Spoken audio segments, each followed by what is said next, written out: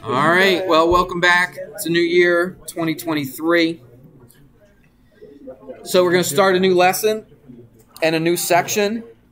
And like I said, uh, for 1 1, for the quiz on 1 1, we will uh, work on that when you come back from the midterm break.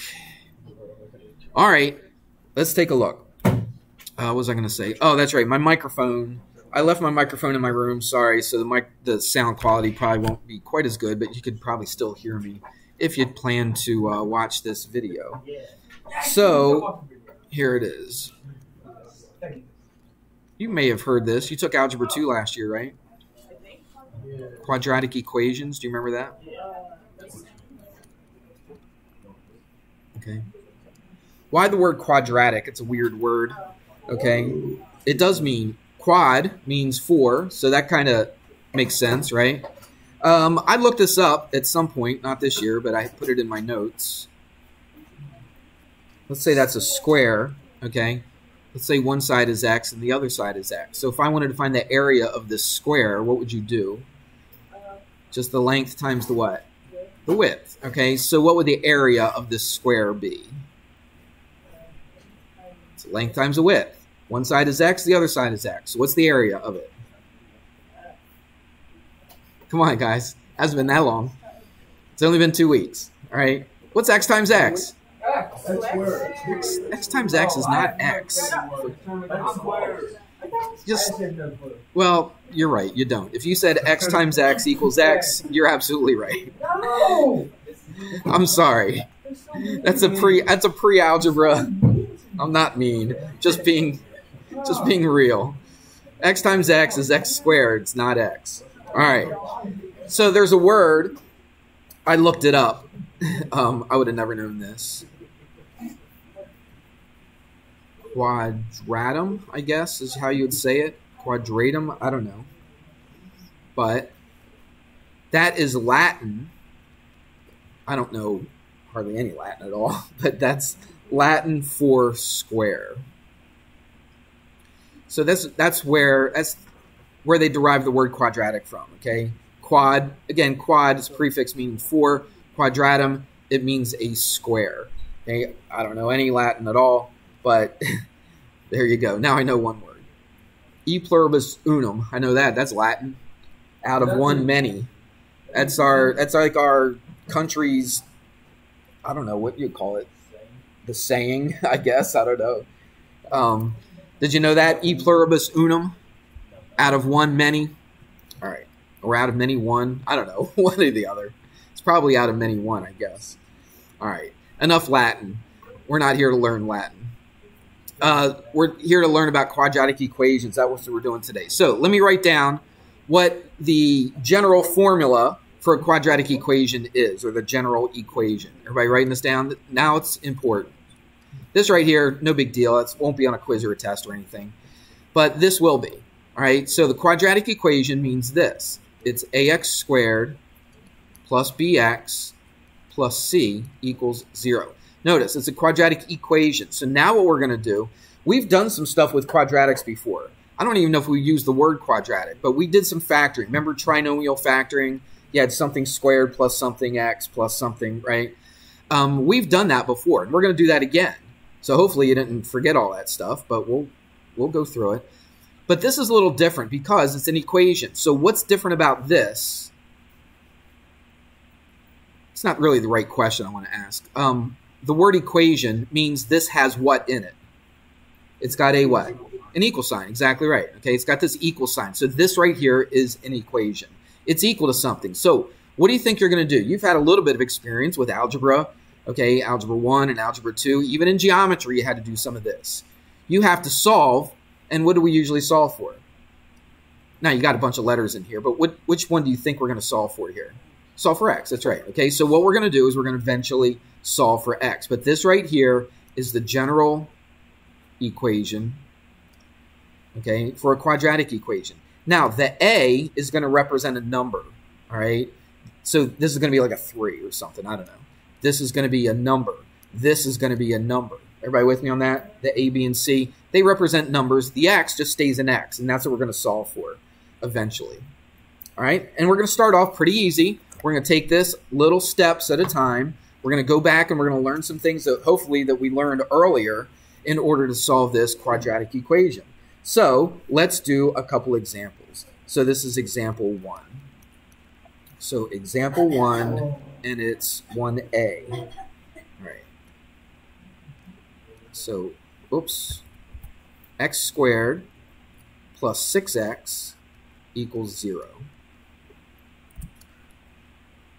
First of all, is this a quadratic equation? Does this look like this? No. Not at all? Sure, at all it does, because look, there's an x squared, there's an x squared. There's a something x, there's a something x. There's an equals, there's an equals, there's a zero, there's a zero. So it definitely resembles a quadratic equation, doesn't it? So you can't say it doesn't look like it at all. I mean, it definitely looks like it, don't you think? You got an x squared, you got a something x. Now, you don't have c, you don't have a number that's being added here, but you do have equals zero, so it definitely looks like a quadratic equation. What if I asked you to tell me what the a, b, and c were on this equation right here? So what is the a? Is it x? It's 1. It's the number out in front of the x squared. What number is out in front of the x squared? Not an x, but a 1. Everybody with me? So the a, if I wanted to write it down, you don't have to do this, okay? Um, we're going to get to a point where this might be helpful later on. Right now, it's not that big of a deal, but but at least we'll get an idea of how to how to do this later. Uh, what is the b? That's an easy one. It's the 6, right. It's the number right in front of the x. That's the su super easy one. Now the c might be a little bit confusing, but what is the c? It's a 0, that's right, because there is no c, right? It's it's 0, right? It's plus 0. You don't see it there, but you could put it there, couldn't you? You could always put a plus 0 after everything, couldn't you? All right? So the c is what? 0. Now we will use these numbers over here. So I think it is important to, to, recognize which one is the A, the B, and the C. All right, so that's the first part.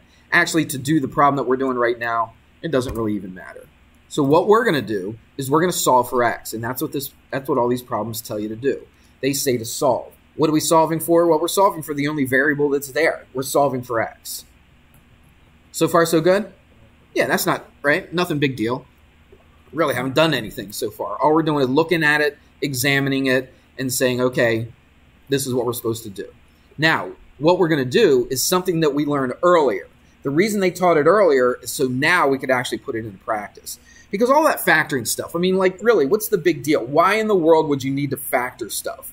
Well, you factor stuff in order to solve for a variable. That's why you learn math. That's what engineers do. Okay, that's what architects do. Anybody that uses math, they do it because they want to solve for the variable. Right. And that's what we're going to do right here. We're going to solve for x. We're going to find out what is x going to be. So if I put it here and I put it here and I do all this stuff to it, it's going to come out to equal zero. We could sit here and just guess a whole bunch of numbers, couldn't we? We're like, okay, what about two? Does two work? Well, two squared is what? Four plus 12, that's 16. Nope, that's not zero. Let's try something else. We could keep doing that all day long. Is that very efficient though? Obviously not very efficient. So what we need to do is come up with a better way to solve for x. One way is to factor, and that's what we're doing. This whole lesson today, all today, is just about factoring, okay, to solve for x. We've done this before. If all I gave you was this and I told you to factor that, you should be able to do that. We've had that on quizzes, we've had it on tests. All right, you should be able to factor that. Forget the equals zero for right now. Let's just look at x squared plus 6x and factor that. This is one of our easiest factorings, okay, because it's a common factor. What is in common with x squared and 6x? And x. So we factor it out, put a parentheses, and figure out what's left over. This is ringing a bell, isn't it? Okay, two weeks isn't enough to forget all this just yet. So if I factor out an x, what am I left with? We're left with an x because I'm dividing it, right? x squared divided by x is x. Put a plus, now, if I factor out an x from this, if I take this and divide it by x, what am I left with? Just a 6. Close the parentheses. Now, that we would have been done, right? In the old days, right? A few weeks ago, whenever it was, when we learned how to factor, um, you would have been finished. That was it. But we're not finished yet because this is equal to what? Zero. And what do we have to do? We have to solve for x. We don't solve for zero we solve for x. Okay? Now, Before we solve for x, let me show you something. Uh, they give this a name. I didn't write that name down in my notes. Oh, yeah, there it is. It's called the zero product property. And I think we've talked about this before. You may go back in your notes if you want. I don't think anybody will, but if you do, and what do we call it? Property. The zero product property basically says this, and I think we may have talked about this before. I can't remember if we did or not. If we didn't, now we are. Forget all this stuff for right now. We're going to come back to it, okay? We're coming back to this. I want to show you something before we do this. I have a times b equals zero. Now, let's think about when you multiply things and your answer is zero. So, what do you think might be true about a or b or both of them? They're, they could be zero, right? Either one of them, okay? Um, I don't think this is the official time, but sometimes I think people call it the trichotomy. Tri, what does tri mean? It's three, okay? There's three possibilities. Either A could be zero, are you watching? or B could be zero, or what? Both of them could be zero. Everybody see that? All right, so what we're going to do, we could say that A could equal zero. So if A is equal to zero, does it make this thing work right here? Sure it does, because zero times anything is what? Zero. So A equaling zero works. Or, I'm going to put, let's say or. Or you could say what? B could be zero because doesn't matter what A is. If B is equal to zero, anything times zero is what? Zero. So we call this the zero product property. Everybody with me on that? So when you have two things that are multiplied together and your answer is zero, actually two or more things, we'll just stick with two right now. If two things multiply together and your answer comes out to be a zero, that means one of those things had to be a zero, or both of them could have been a zero, right? Because if A is zero and B is zero, zero times zero is still zero. I'm saying zero a lot, aren't I? All right, so let's come over here. Let's see how that works with what we're doing right here. You got two things that are being multiplied together, and guess what our answer is? Our answer is zero. All right, so what do you think we're going to do here? We're going to say x could be zero, and I, I don't know if I should put and or or. Let's put or. Put or or and. okay? Because both of them could be true. All right? And or. I should have done it the other way. And or. What else could be zero? X plus 6. Very good. X plus 6 could also be zero. Everybody see that? Because this parentheses right here is being multiplied by x, so that could be a zero, or x could be a zero. Does that make sense from this? I got two things that are being multiplied to be zero. That means either one of them could be equal to zero. All right? Either one of them could be zero. So what do I do? I set this one equal to zero, and what else? I set the other thing that's being multiplied equal to zero. So I set them both equal to zero. That follows from this, doesn't it? Does that make sense? I think it does. I think I explained that pretty well. Do you? I know, Gage. But just watch the video and just take your time, okay? Because I think I explained it pretty well. I don't know how to explain it any better. So let's keep going. If you have two things, listen, it's not that hard. If you just open up your mind a little bit, no, no, no. Listen, you're already putting a roadblock, and you're, you're putting a mental roadblock in front of you. You do this all the time, almost every single day. Okay, every time I do something that's a little bit new, you say, you always say, I can't do this, I can't do this, I can't do this you have got to stop saying it. Okay? That doesn't mean automatically you get it. But you're automatically going into everything that I do new and you're saying that I can't do it. And you're saying it again. Okay, you have got to have some self discipline and say, look, I may not understand it right now, but if I do this enough, then I'm going to be able to get it. That has got to be your mindset. I know not everybody gets it the first time. I I rarely I remember sitting in my college math classes and thinking, oh my word, I have no idea. He's speaking another language. I have no idea what he's talking about. But I didn't sit there and say, well, there's no way I can do this. I can't get it. Ugh, and then just shut my mind off. I can't do that. All right? Because then you will not be able to ever do it. You've got to be able to say, all right, He gave me an explanation. I'm gonna back then I didn't have a video to back to refer to. We didn't have any videos back then. Um, but I would take notes, and I'm like, okay, I'm gonna go and review the notes. I had people that were in my class that were understanding what the teacher was saying. So I would go to them and I would ask them, Did you understand what he was saying today? Sometimes they're like, I have no idea, right? But sometimes, like, oh, yeah, I got that. And then I would go to him and ask him, say, Could you explain it to me? I had to do that a lot. I really did. Bathroom, right? No. But So, like, you what did y'all have? Like, did y'all have MySpace? do we have what? MySpace? My, MySpace. We didn't have any computers. Right? You was born- There was no internet. there, there was no internet. Okay, so we didn't have any social communication. That's how old I am. Okay, we had no cell phones, no nothing. We actually had to talk to people. right? So we would talk to them. I was amazed. I'm still amazed today. Every time I get on the internet, I'm like, I can't believe this is real. I can't believe when I pull out my phone and I look something up on Google that you can actually do that. Believe me, I'm amazed every single time I use it. Um, because when you when you grew up not having it, it was just a dream. I was telling my son the other day about that. I was like, I was like, I was telling him all these stories about things we didn't have, you know, and I was like, I remember my dad telling me those stories, you know, and thinking, man, that was that would have been terrible to live back then. You know, they didn't have this, they didn't have that, or whatever it was, you know. And now I'm telling the same stories. And I told my son, I said, guess what? In 20 years, 30 years, you're going to be telling your kids the same exact thing. I mean, that's what's amazing. In today's world right now, in 20, maybe 10 years, okay, 10 years, 15, 20, 30 years from now, you're going to be telling stories to people that are younger and saying, can you believe we didn't have this? We didn't have that? And I can't even imagine what you would even tell the stories about. And that's the way I was when in high school. But anyway, we didn't have that stuff. But let's continue with this. So, what are we trying to do? We're trying to solve for x. We got one answer for x. What is it? Zero. So let's circle it.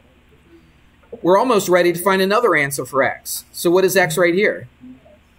x is what? Negative 6. I just subtract a 6 from both sides. Guys, please.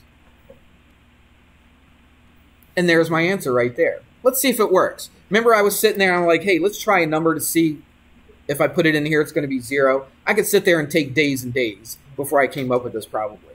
All right, let's let's see if x equals zero actually works. Let's put a zero in for this.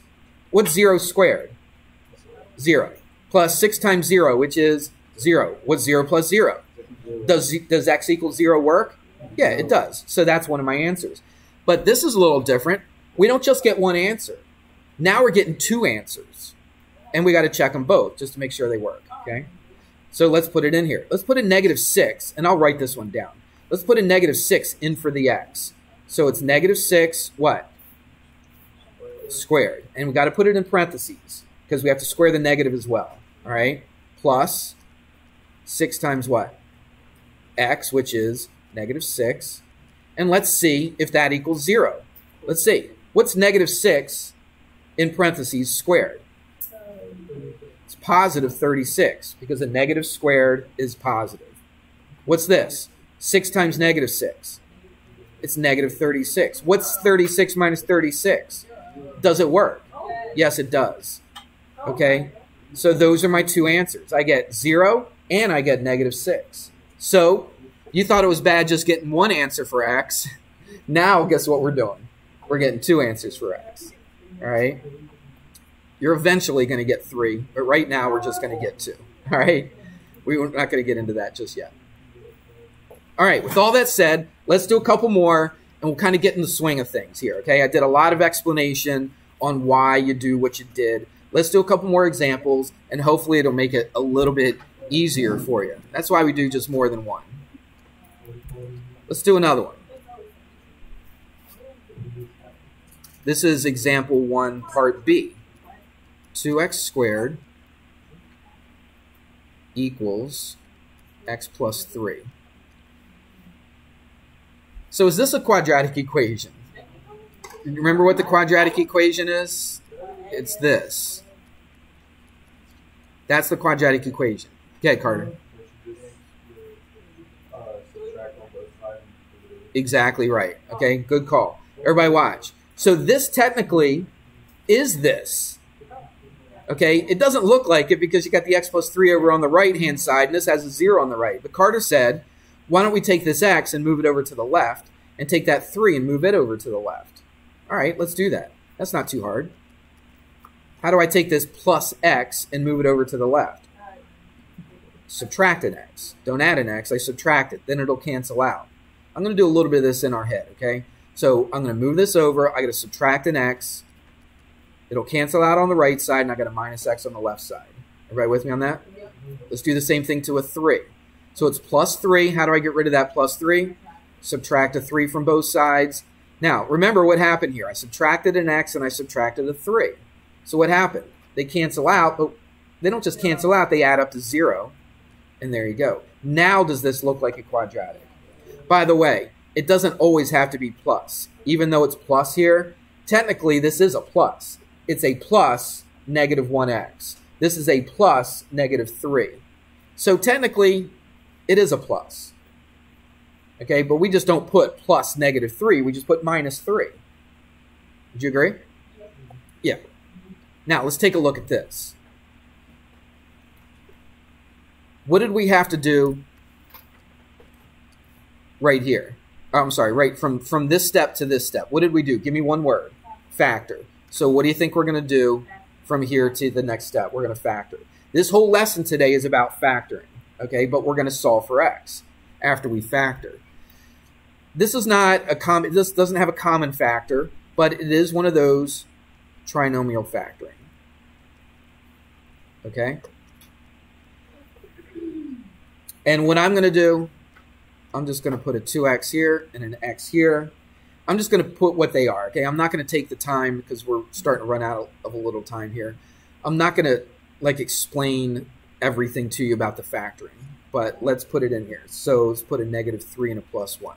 I will do this though. Let's see if this actually works. We've done factoring. We spent a whole chapter on factoring. Okay, so I can't rehash that whole entire chapter again.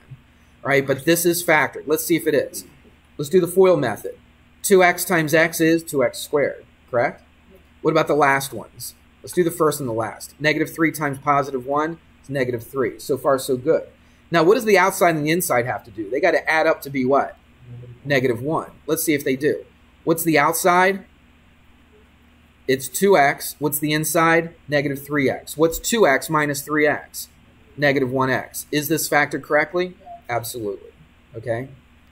So again, I can't take the whole rest of the class trying to explain why this factors the way it does. That's something that we were supposed to learn before. Okay? Mm-hmm. But there it is. It's factored. It's good to go.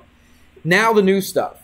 You got two things that are multiplied together and your answer is zero. What did we just talk about that? We call it the zero product or the yeah, the zero product property.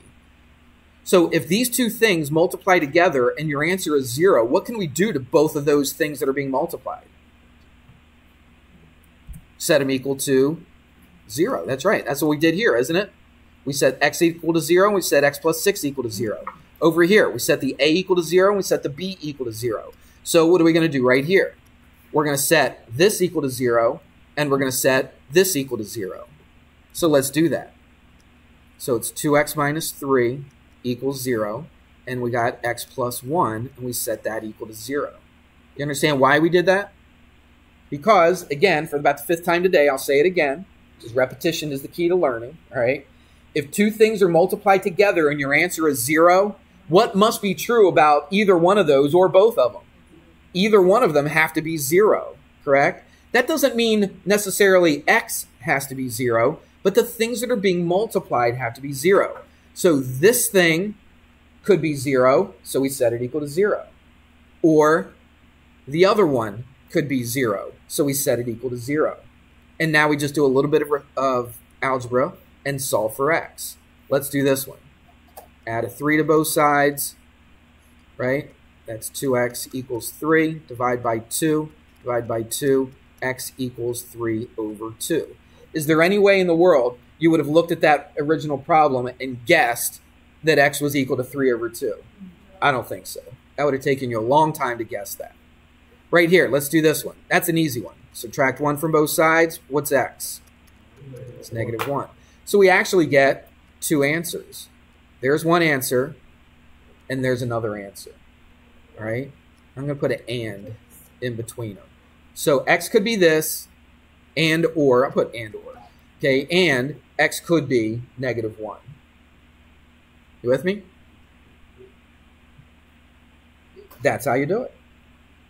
Um, in the book, you're going to see it written like this. They're going to put like this little set notation. You've seen this before. And they'll put like negative 1, comma, 3 halves. Oh. Does that mean it's time for class to be over? Yes. So that right there is your uh, answer. That's the way you'll see it in the book. Okay, if you just circle them like this, I'm perfectly fine with that. Okay, but it, when you look in the back of the book, you'll probably see it like that. But that's what it means. It means x is negative 1 and x is also 3 over 2. We good? Let's do another one.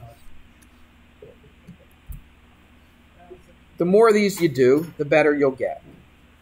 Um, this is example 2. It's kind of like what we just did. So again, all these say solve. I didn't write that on the last one, but they all say solve. So it's 9x squared minus 6x plus 1 equals 0. This is a little easier because it already looks like a quadratic, doesn't it? I don't have to move things to the other side. It's already x squared x, a number, equal to 0. We good with that? Does this thing factor? Well, it does because this whole section that we're doing today, everything factors. It's not always going to factor. Later on, we're going to be doing stuff that's a little more involved where you won't be able to factor it, but you're still going to be able to solve for x. But right now, we're going to factor. This is actually, I'll give you a hint. This is a perfect square. Do you remember that? Remember perfect squares? So, how do I know if it's a perfect square? Well, what is this? If I take the square root of that, what is it? It's not just 3, it's 3x. Okay, if I take the square root of 9, I get a 3. Take the square root of x squared, I get an x. What if I take the square root of 1? What do I get? I get a 1. That is something. Okay, I get a 1. All right, you with me on that? Now, how do I know if this is a perfect square? I multiply those together, which is what? 3x, and then I double it. Do you remember that with perfect squares? If I double it, does that give me a 6x? Absolutely, it does. Okay, so is this a perfect square? Yeah. And what are my what are my squares, or what are the things that are being multiplied? The 3x and the 1. Now, this is a minus, so what's my sign in here going to be? It's going to be minus. So it's 3x minus 1 and 3x minus 1. If it's a perfect square, both of them are exactly the same. Again, go back to the videos where I talked about factoring. Look the one up where I talk about perfect squares. I can't take the time to delve too much more into that. All right? But that's a perfect square. Now, this is all equal to what? Zero. Now, what do we do? I got two things. I'm going to say it. How many times is this? Six or seven now? Probably. I got two things that are multiplied together, and my answer is zero. So, what do I do with both of those things? Set them both equal to what? Zero. So, I set that equal to zero. Now, watch this. I'm setting the same exact thing equal to zero. So, am I going to get two different answers? I'm going to get one. I get two answers, but they're both going to be the same exact answer, right? So, I don't really have to do it twice here. You understand? On this particular one, because they're both exactly the same thing. So, let's do some math add a 1, add a 1. Okay, divide by 3. Everybody's got that part down now, don't you? Mhm. So x equals 1 third, and that's your answer. Right there. You could always check it to see if it works. We got a couple minutes here. Let's check to see if it works. Put a 1 third in for the x. That's not that hard. It, it looks like it's difficult because it's a fraction, but it's not. What if I take 1 third and I square it? What's that? What's 1 third times 1 third? One third times one third. Just multiply straight across. Somebody, somebody tell me. Let's think. What is it? One ninth. You multiply straight across. You don't add. You multiply straight across. Okay, so one third squared is one ninth. What's nine times one ninth? Nine over one times one over nine. It's one. They cancel out, right? Nine over one times one over nine. You guys are scaring me to death here. All right, so that's a one. Okay? Let's put the one third in for this. Six times a third. What does that mean? That means six divided by three. which is a 2. Okay? So that's a 2. You got a minus. Does this thing actually come out to be a 0? Sure it does. 1 minus 2 is negative 1. Negative 1 plus 1 is 0. Does it work? Yep, it works. There will be times, not right now, there will be times when you're going to get an answer. You did everything right, but then you plug it back in and it doesn't work. You're like, Mr. Hammer, come on. This is hard enough. All right. How in the world am I going to come up with an answer and the answer doesn't even work, even though I did everything right? Well, we'll get to that when we get to it. Okay. So what was what was the gist of this lesson today? The factoring wasn't really the big deal, was it? It was that zero thing. Exactly. When two things are being multiplied together and your answer is zero, what do you do? You set both of them equal to zero. I've said it a whole bunch today, haven't I? Mm-hmm. Okay. That should, I don't know how else I can say it to make it make sense to you. That's about as clear as I could possibly be. If you got two things right here, this is times this, it's equal to zero, what did we do? We set them both equal to zero. And then we solve if we had to solve. In this case, yeah, we had to solve for x. This case, x was already zero because it was by itself. Okay? Down here, we factored. We got two things that are multiplied together. My answer is zero. What did we do to both of those things? We set them both equal to zero. Set that equal to zero, set that equal to zero. We did some math, we got our answer. Over here, we had to factor. We set both of them equal to zero. We get our answer. They're both exactly the same. That's why I didn't have to do it twice. Everybody understand that part? Mhm. Okay, so I just got one answer. This one only has one answer.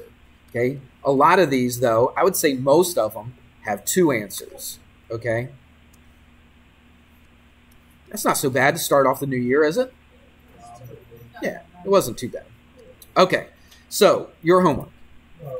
Oh.